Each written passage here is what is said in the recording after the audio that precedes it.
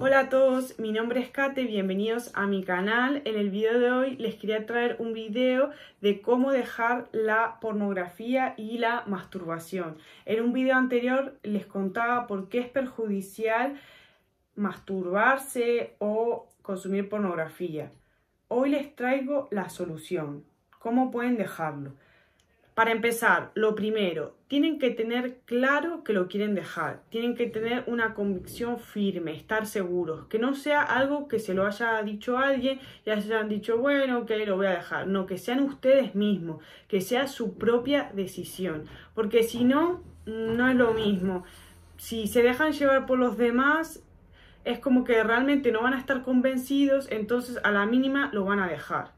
Lo segundo, saber por qué lo quieren dejar, o sea, saber en qué los está perjudicando hoy en día en sus vidas. Que haya un motivo fuerte. ¿Cómo va a cambiar su vida una vez no tengan estas prácticas? Tienen que tener esto muy claro para lo mismo, para cuando venga un momento difícil puedan continuar con su meta porque digan, no, pero esto me va a hacer bien, esto va a ser bueno para mí. Entonces, que sea sobre todo algo para ustedes, sean egoístas, porque así cuando ustedes piensen en sí mismos, va a ser más fácil que eh, lo dejen, porque va a ser una idea suya, no va a ser nada que se lo haya impuesto otra persona. Y em, si cuando vos te das cuenta de que algo te está haciendo daño, querés lo mejor para vos y vas a mm, intentar mejorarlo como sea.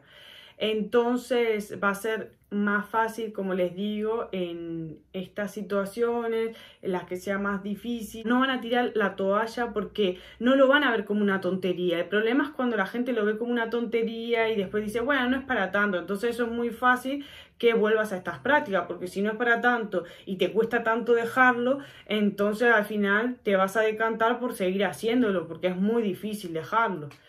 La tercera cosa, tener claro la raíz del problema. O sea, ¿qué emoción tenés vos cuando te masturbás? O sea, ¿qué es lo que te lleva a eso? Hay muchas razones, depende de la persona. Voy a enumerar algunas. Por ejemplo, estar estresado. Cuando vos estás estresado, necesitas de alguna manera aliviarte.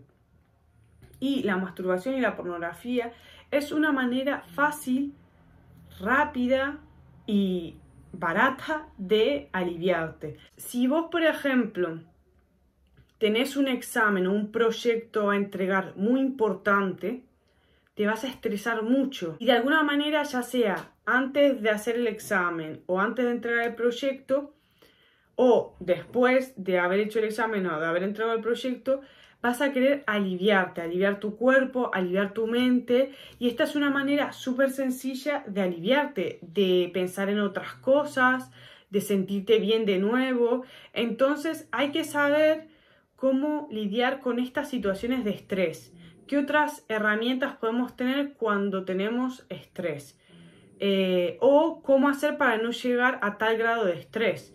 Para empezar, hay muchas situaciones que nos producen estrés que podemos sacar de nuestras vidas, ya sea personas, ya sea eventos a los que asistir, situaciones. El problema es que muchas veces no queremos quedar mal con la gente y por eso accedemos a hacer muchas cosas, a ver a cierta persona, a ir a cierto evento, para quedar bien. Pero realmente vos tenés que quedar bien con vos mismo y tenés que hacer lo que sea mejor para vos. Por ejemplo, cuando tenemos que ver a una persona que no queremos ver o ir a un evento que no queremos ir, nos produce mucho estrés. Empezamos a pensar, uy, ahora tengo que ver a esta persona, o tendría que haber dicho que no, ¿por qué no dije que no? Soy un estúpido, ¿por qué no dije que no?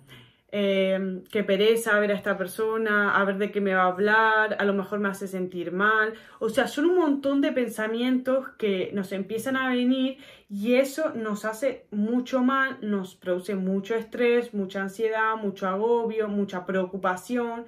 Entonces todo eso hace que eh, tengas que de alguna manera aliviarte. ¿Y cómo es una manera fácil de aliviarte? La masturbación y la pornografía. También cuando estamos muy preocupados por algo. Otra cosa que nos hace, nos hace llevar a estas prácticas, sentirnos solos. Cuando nos sentimos solos es una manera de desconectar, de irte del momento presente, de sentirte otra vez bien, eh, de tener un placer en el cuerpo, lo que hace que la mente se despreocupe y también mm, se vaya otra vez al momento presente, pero a un momento presente de placer ahora, porque estarías masturbando, ya no te estarías atormentando con todos esos pensamientos. Eh, otra razón por la cual podemos acudir a estas prácticas, el aburrimiento, eh, cuando no tenemos nada que hacer, cuando estamos aburridos, decimos, bueno, me voy a masturbar, no tener un propósito en la vida, no tener una rutina por lo mismo, porque no tienes nada que hacer. Hoy en día eso está muy accesible. También muchas veces simplemente estamos viendo redes sociales, algo nos detona, nos provoca y entonces nos hace acordarnos de eso y acudimos a esas prácticas pero por eso, porque lo tenemos muy accesible o porque la sociedad también está muy sexualizada y todas esas cosas nos detonan, nos provocan cosas y terminamos eh, recurriendo a estas prácticas. También simplemente por el hecho de que estás viendo Instagram y al tenerlo otro tan accesible, o sea, cerrás Instagram porque te provocó algo que viste y te vas a la otra plataforma, como está todo tan accesible, también no es de pago ni nada, entonces es muy fácil llegar a todo eso. Si vos quisieras tener eh, esa recompensa, ese placer instantáneo, sería más difícil, sería mucho más difícil. Y, y, no vas a conseguir lo mismo. Entonces por eso es que recurrimos a estas prácticas. Entonces, bueno, ¿qué es lo que hay que hacer? Tener herramientas, tener herramientas para todas estas situaciones. Dependiendo de la emoción que vos suelas tener eh, cuando recurrís a estas prácticas, tenés que tener una herramienta. O sea, por ejemplo, si te sentís estresado, ¿cómo me puedes desestresar? Eh, antes de llegar a ese nivel de estrés, ¿cómo puedo hacer para no llegar a ese nivel de estrés? Por ejemplo, ¿cómo puedes no llegar a ese nivel de estrés? No siendo tan duro con vos mismo. Eh, sabiendo que ya sea eh, un examen o ya sea un evento al que tengas que ir o un proyecto que presentar, vos lo vas a hacer lo mejor que puedas. No eh, autoexigirte de más, no ser perfeccionista de más. Pensar que cuando uno también es muy perfeccionista, a veces no llega a hacer las cosas. ¿Y qué mejor? Presentar y hacer algo o no hacer nada. Yo creo que es mejor hacer algo, ¿no? Y además siempre lo vamos a hacer lo mejor que podamos en ese momento. O sea que para mí eso eh, debería ser suficiente para nosotros, ¿no? Tener ese pensamiento de que lo hemos hecho lo mejor que hemos podido o lo vamos a hacer lo mejor que hemos podido. Y no por pensar mucho las cosas eh, van a salir mejor, porque normalmente las cosas que pensamos son súper negativas o son pensamientos que no sirven para nada, pensamientos obsesivos como lo voy a hacer bien, lo hice bien, ¿para qué? O sea, una vez entregaste el examen o hiciste el proyecto o fuiste al evento o hablaste con tal persona, despreocupate, o sea, mm, será lo que tenga que ser, relájate, pensá en otra cosa y listo. Y eh, otra cosa que podemos hacer es cuando ya tenemos eh, el estrés, ¿no? O sea, cuando ya por lo que sea no pudimos controlar eh, esos pensamientos y ya llegamos a eso. Bueno, ¿qué podemos hacer cuando ya tenemos el estrés? Em, hay muchas cosas que podemos hacer. Para empezar, puedes tomarte una ducha para distraerte, puedes ir al parque, eh, puedes hablar con un amigo, eh, puedes salir a dar un paseo, puedes comer algo, puedes cocinar, puedes patinar podés, eh, no sé, hacerte una mascarilla. Hay tantas cosas que se pueden hacer. Bueno, con estas prácticas nos quitamos el estrés y eh, enfocamos la mente en otra cosa. Y todo eso va a hacer que no recurramos otra vez a la pornografía o a la masturbación.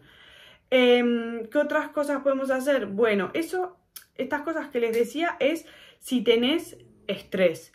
Pero si, por ejemplo, tu problema es el aburrimiento, tenés que, eh, podés hacer todas estas cosas también, pero bueno, a lo mejor ducharte eh, tardás muy poco tiempo y después decís, uy, ¿ahora qué hago? Otra vez estoy aburrido. Entonces ahí tenés que hacer otras cosas que mm, duren más en el tiempo. Por ejemplo, un deporte, salir a patinar, salir a correr, eh, hacer tu, propia rutina de ejercicio, pintar, eh, no sé si tocas un instrumento, tocar un instrumento, leer. Sobre todo si, por ejemplo, vas a hacer algo como leer, yo diría que te fueras a una plaza o a un parque a leer, porque si vos estás leyendo en tu casa, en algún momento mm, te puedes otra vez empezar a aburrir o a sentir mal y a tener eh, esa mm, como angustia de, uy, me, mm, quiero hacer otra cosa más estimulante y al estar en tu casa podés recurrir a la masturbación y a la pornografía, pero si estás en una plaza o en un parque, no. Entonces, eh, les recomiendo irse un parque a leer si van a hacer eso. Eh, quedar con un amigo, hablar, conectar con gente, ir al supermercado, todo eso te va a quitar del aburrimiento. Pueden hacer miles de cosas contra el aburrimiento, irse al cine también. Otra razón por la cual la gente cae en la masturbación o en la pornografía es porque se sienten solos. En ese caso, puedes apuntarte a una actividad en grupo, eh, quedar con un amigo, conectar con la gente mm, con la que ya conoces, mm, conocer gente nueva, eh, hacer cosas que te hagan sentir en comunidad. Ya el hecho incluso de ir, por ejemplo, a un parque y que haya gente, te va a hacer sentir mejor o más en comunidad que estar solo en una habitación encerrado en tu casa. Entonces, esa es otra opción. También eh, una de las soluciones ¿no? para la masturbación y la pornografía sería ir a lugares con gente o hablar con gente, incluso aunque no la conozcas por la calle o no sé si vas al supermercado, te da una pequeña interacción con alguien o con el cajero, la cajera, porque esto, o sea, es una cosa que haces en tu casa solo eh, o sola, es una práctica como que muy aislada. Entonces, todo lo que sea conocer gente, interactuar con personas, eh, va a hacer que te quites de todo esto.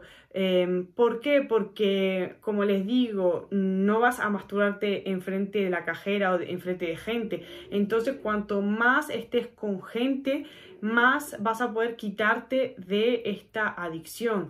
También porque muchas veces el problema es el sentirse solo o sola. Entonces, si vos, por ejemplo, eh, empezás realmente a conectar con la gente, va a llegar un momento que no vayas a tener la necesidad de recurrir a estas prácticas porque ya te sentís conectado y tenés un montón de emociones positivas que se generan por el hecho de conectar con personas.